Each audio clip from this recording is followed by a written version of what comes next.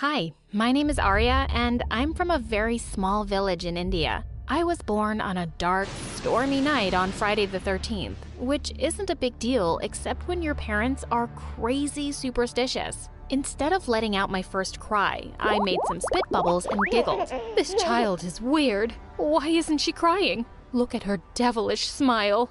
Once, when I was two, I was playing with my grandmother, and it was the first time I called out her name, Dadi. But it wasn't a celebration because the same day, she passed away. A few months later, when I learned to say my grandpa's name, Dada, he passed away too. Oh my god, this is the beginning to an end. If she says another word, she might kill us all. And the very same day, my uncles and aunts left the village with their entire families, and my parents just got weirder and crazier. I loved the color black, but they thought it was demonic, so they'd paint all my favorite black things pink. One time when I was five, I rescued a cute black cat from the streets and brought her home. I named her Kali, but my parents went ballistic. Black cats are evil. They'll bring death upon us. But he's my little meow meow. The only thing that could kill us is his cuteness. They didn't listen to a word I said and threw Kali out of the house that night, and I was furious. I started screaming at the top of my lungs, and just then there was a loud clap of thunder, followed by a loud bang.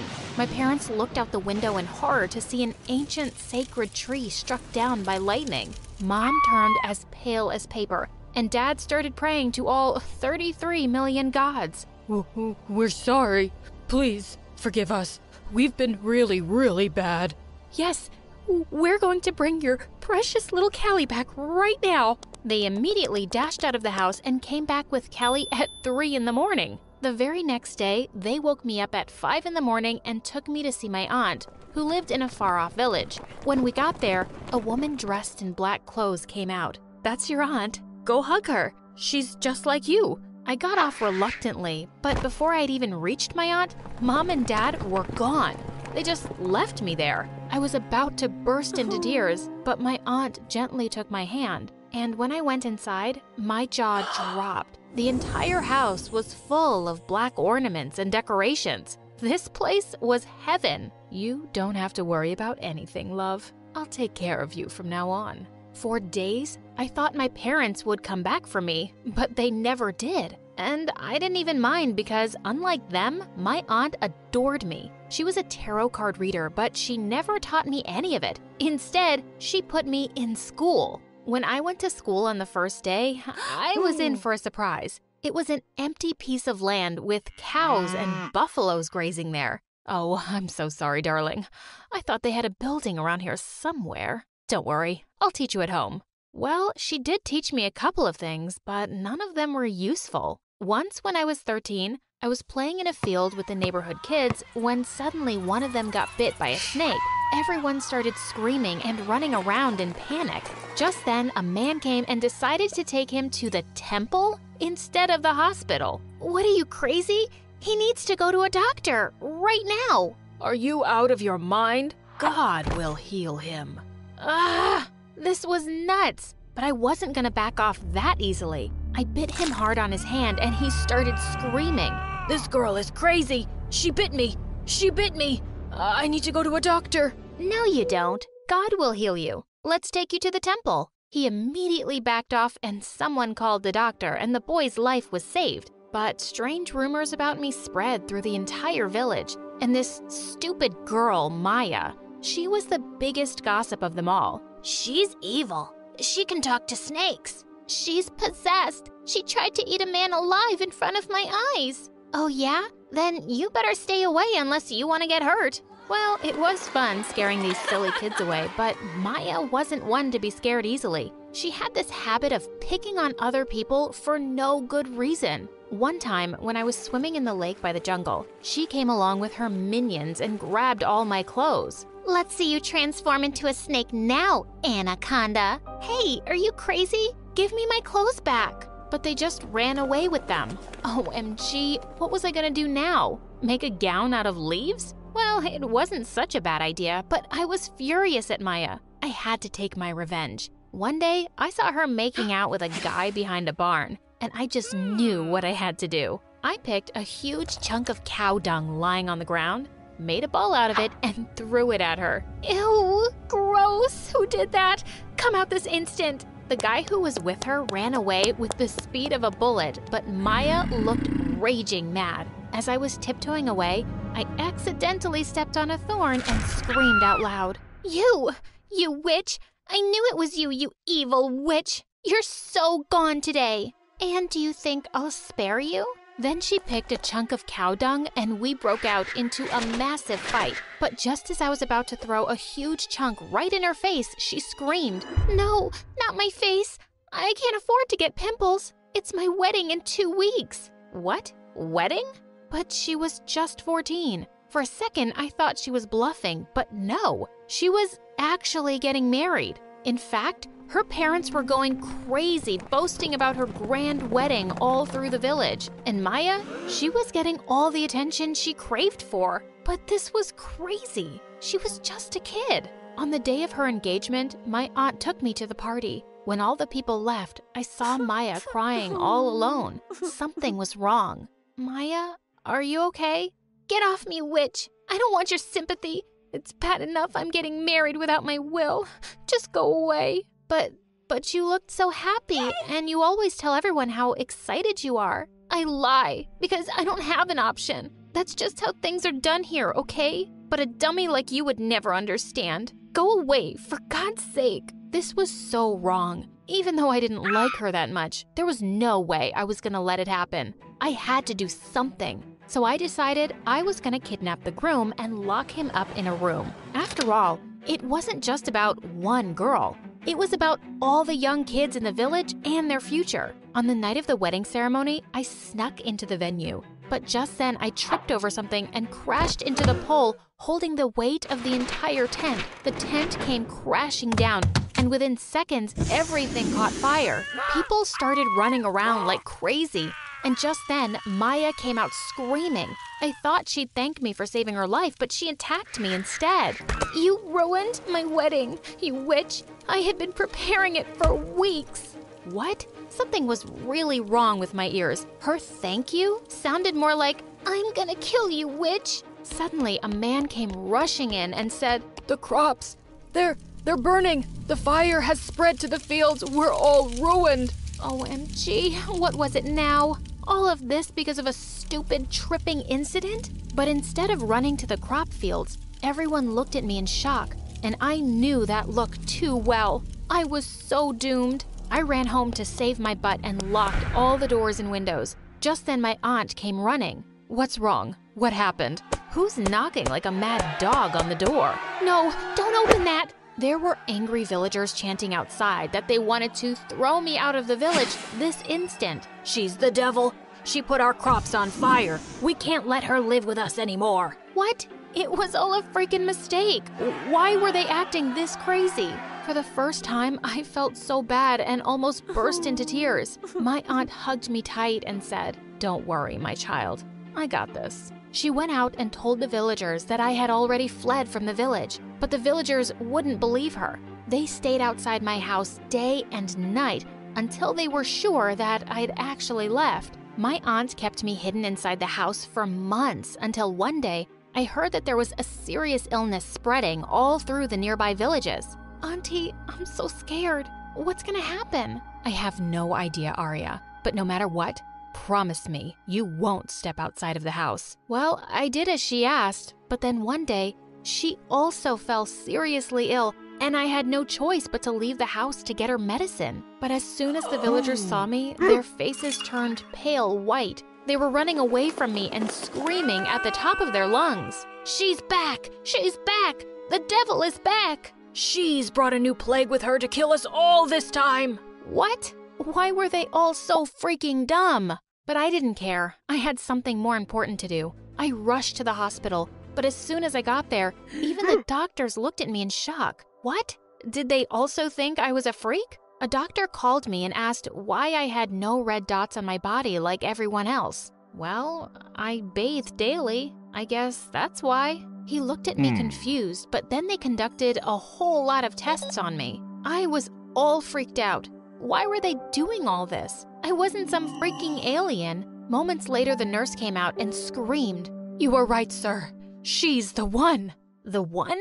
What the one? It turned out they found the antibodies to the disease in my blood. Apparently, my blood was now the cure to the deadly disease that was spreading, and I could save everyone's life. When everyone recovered, the doctors told all the villagers that it was me who saved lives. Everyone looked shocked at first, but then they started screaming, Goddess, goddess, she's a goddess. She saved our lives. People started coming to me with gifts and presents. It was all so crazy. For God's sake, what was wrong with these people? No, stop it, please. I'm no goddess, and neither am I the devil. I'm just a normal human being like you people. It was just a stroke of luck that my blood had the cure. For the first time, I felt the people were actually listening to me. If you really want to give me something, then please stop with these stupid superstitions and abolish all the age old rules that are ruining our kids' lives and their futures. We don't need that. We need schools and facilities and better hospitals so that more lives can be saved. After that, there was a long silence, and I was all ready to sneak my butt out of that place in case they got mad at me again. But thankfully, they understood. After that, I left the village to go to school and study more about science and medicine, and I was appointed the new chief of the village. I'd been swiping on Tinder for weeks and hadn't even had one match. I didn't get it. It's not like I was butt ugly or anything. Finally, my phone beeped. I'd matched with someone. He asked me to meet in an hour at a nearby cafe, and so I quickly changed into a cute outfit and rushed out the door. When I saw him, I was shocked. He was sitting in a booth with a girl opposite him. I couldn't believe it. I'd heard this kind of thing could happen, where a guy would have two dates in a row. I decided to walk by and see if he noticed me.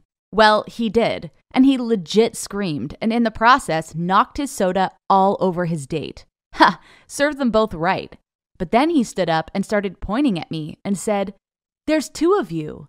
The girl turned around and I didn't know whether to laugh or cry. It was my sister, my identical twin sister to be precise. Belle, what are you playing at? I said.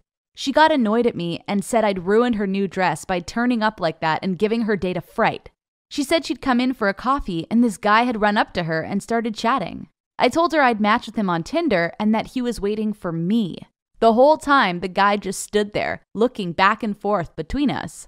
We must have been making a lot of noise because suddenly some other random guy came up to us and, in a not so subtle way, told the guy that I was supposed to be on a date with that me and my sister had been with everyone in town and that he should run while he still had the chance.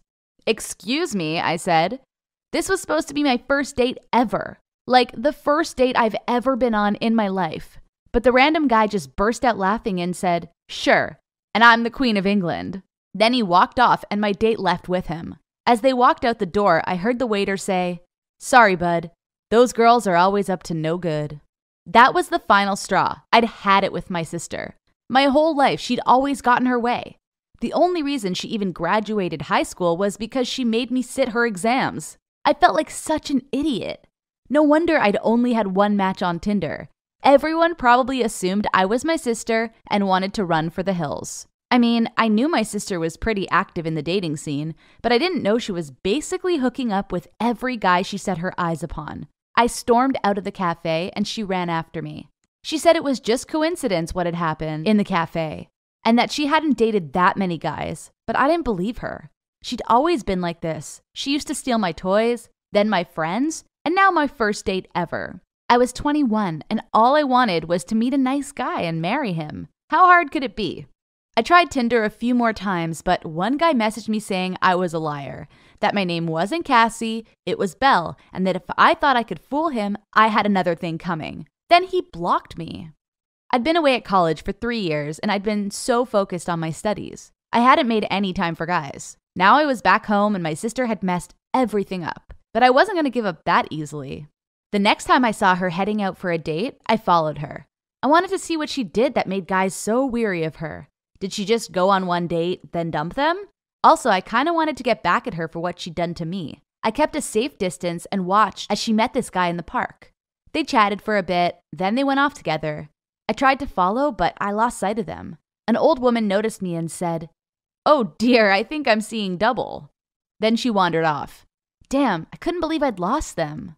I waited for ages and eventually they came back, and my sister kissed him goodbye and went off to her car. For some reason, he stayed in the park, and after 20 minutes, I decided I had nothing to lose.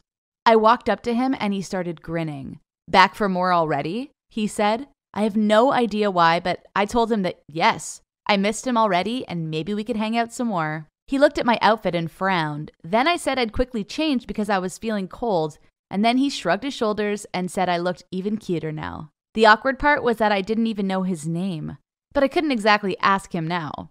We ended up chatting for hours, and I apologized for making a move so quickly. And he said it had been fun, but maybe we should slow down and get to know each other properly first. I agreed. And then when he went to the bathroom, I took his phone and quickly changed my sister's number in his phone to my number. At least I knew his name now Kenneth. We said goodbye, and I went home and waited until my sister was asleep. Then I took her phone and deleted his number and blocked him on her Tinder. I just had hoped that she didn't notice. The next morning, I asked about her date the day before.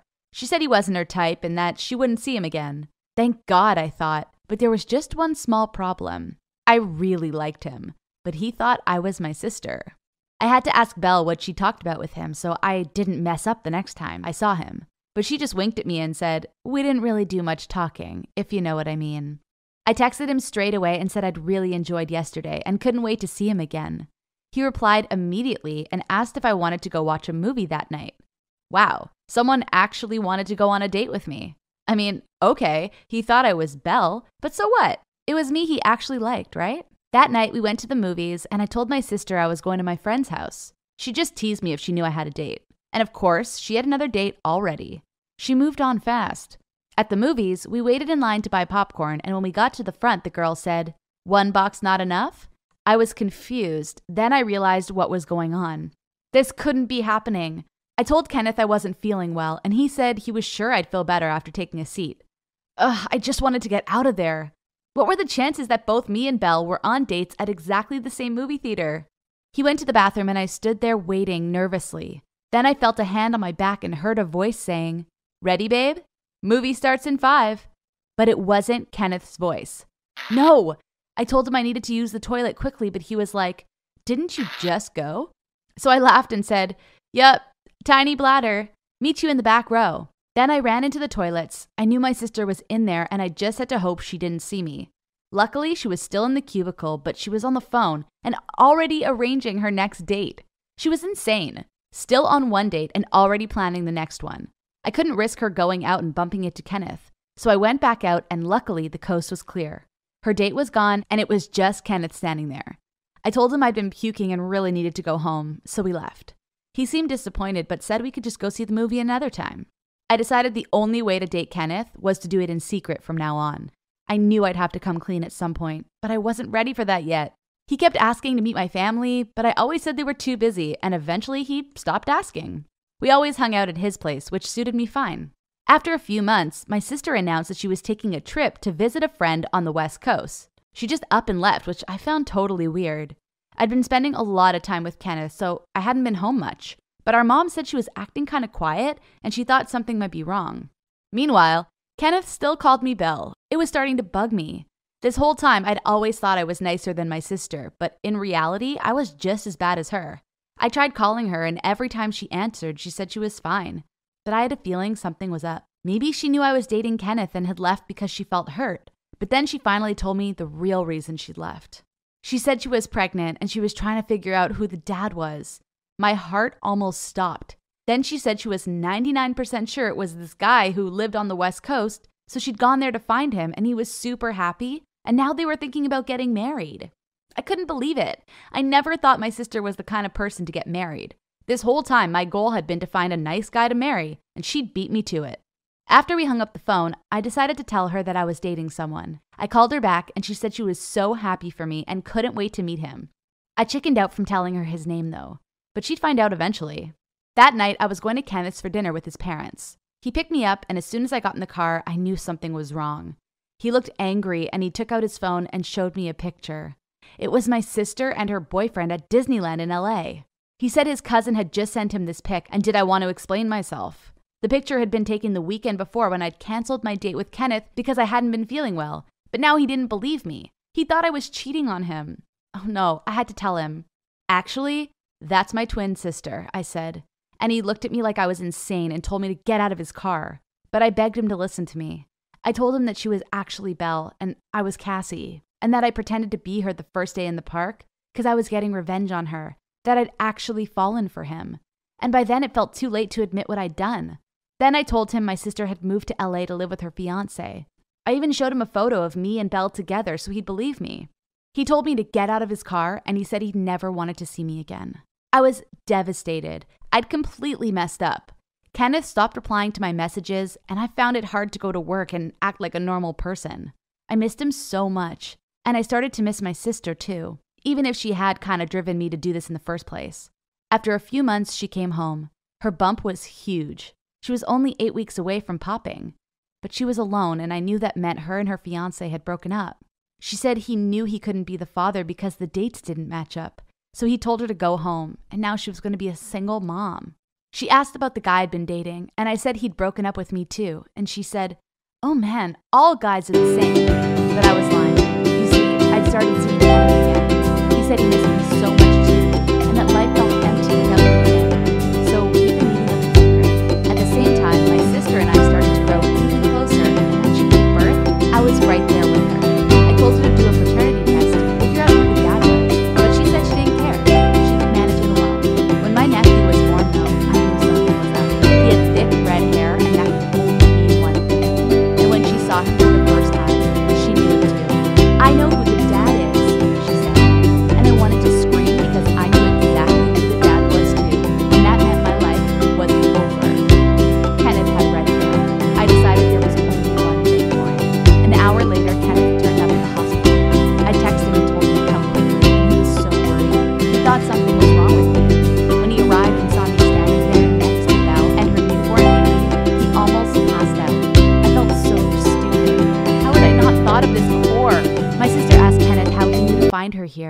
before I could even say anything, he blurted out that he'd been dating me for the past nine months. And my sister looked at me with so much hurt in her eyes. What should have been the happiest moment of her life had just turned into a complete disaster, and it was all my fault. You're probably assuming that my sister and Kenneth got back together to raise their son, right? Well, not exactly. You see, Kenneth and I were seriously in love. He wanted to marry me. And although it's weird to marry the man who got your sister pregnant, these things happen. My sister eventually forgave me, but I know we'll have a lot of explaining to do in the future. Their son is going to wonder why his dad is also his uncle. Whenever Kenneth and I take him out to play, people just assume he's my baby. We're getting married soon, and who knows? Maybe we'll have a baby not long after. His cousin will also be his half brother. Yep, it's kind of complicated, but I got what I wanted in the end, and maybe now my sister will think twice before dating every guy in town.